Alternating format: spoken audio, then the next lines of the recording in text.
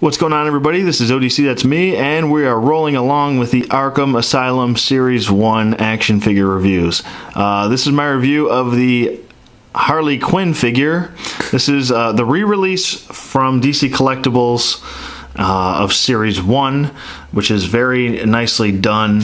And uh, well, technically, it's a Series 2, Series 1 combination, I believe. I'm not 100% sure on that. But uh, yeah, because it doesn't include the Series 1 Batman. But they all look really cool. Here's the other figures in the wave, which is the Joker, Scarecrow, Harley Quinn, Poison Ivy, and Armored Batman. So, pretty sure I said that twice already, so. but uh, Harley Quinn, this is the Harley Quinn to get, in my my opinion. I completely agree with Electric Detonator. This is the much better Harley Quinn than the Arkham City look. Uh, I'm not really, I wasn't really a big fan of that look either. Um, I like this look is much better. So, anyways, with that being said, let's get Harley Quinn out of package and take a closer look at Miss Quinzel.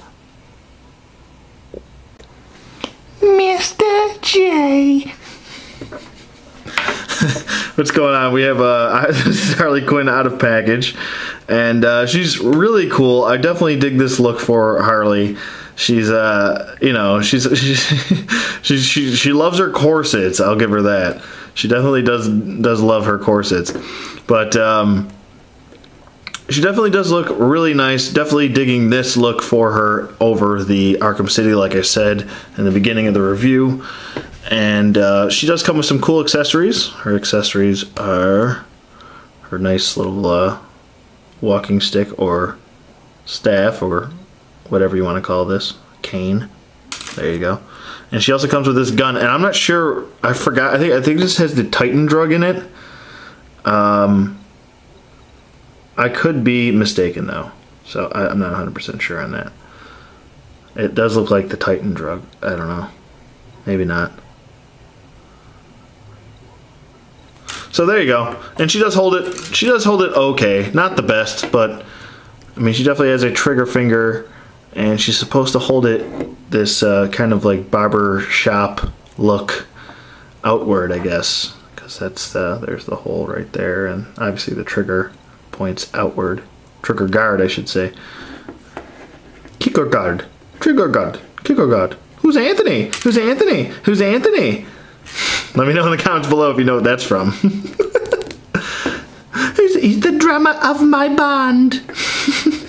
but uh, uh, yeah, she does look really cool, and she um, she's actually more articulated than I thought she was going to be.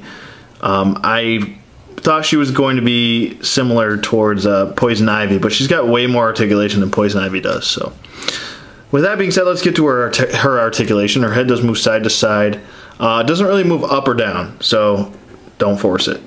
Her arms do move up about that far. They move down. They can do a full 360. Actually, her arms move up about that far. Excuse me. Her, I guess her hinge was a little stiff. Um, she does have a bicep swivel, a single bend at the elbow, a wrist rotation, uh, no ab crunch or anything like that, uh, no diaphragm joint or waist swivel. Um, her legs do go up about that far and they go back pretty nice. Uh, she does not have an upper thigh swivel. I thought she did for a second. Nope. Uh, she doesn't have a any type of swivel in the leg. She does have a single bend at the knee, and that's pretty much it. So much much better articulation than I thought she was going to have. So that's a nice surprise. And her her skirt is separately articulated, if you want to call it that, separate piece. There you go. So that's pretty cool that they, that they did that also.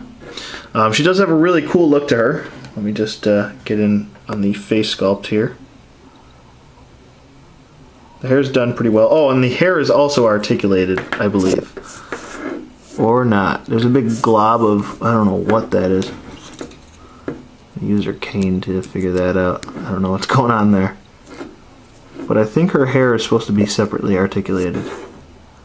I'm not going to mess with it. With my luck, it'll just snap right off and I haven't had good luck lately with action figures. so I'm just not gonna mess with that. But um, yeah, her face sculpt is very well done. Her hair, I like the detail in her hair. Looks pretty cool.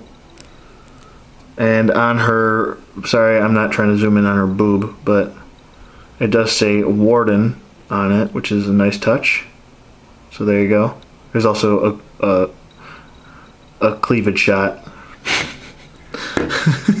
but uh, yeah, she does look really cool. I'm definitely digging this look for her. Um, her her um, fishnet stockings are actually cloth, which is a nice touch. I was actually expecting um, painted fishnets, but uh, they are cloth, which is nice. And she does hold everything pretty well.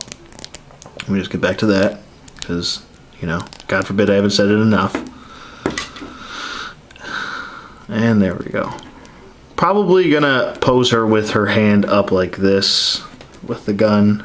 Maybe have her like this. No, have it out. There you go. So there you go. There's Harley Quinn. Definitely going to recommend her. Um, I think she might be one of my favorites in the line, to be honest with you. She's definitely one of my favorite figures in the line. She looks very pretty. The face is done really well. I think it's a very pretty face. Looks good. I think it's a better better face than um, Poison Ivy, to be honest with you. And um, yeah, so that's pretty much it. If I had to rate this figure, I'm probably going to give it an 8.5. I think it's very well done. You know, there's no loose joints on this. Uh, I'm really digging the detail all throughout, everywhere. It looks good. And um, yeah, so let me know what you guys think. Do you agree, like, dislike, rate, comment, subscribe, all that fun stuff. And uh, yeah, so let me know what you guys think. And I will see you guys on the flip side.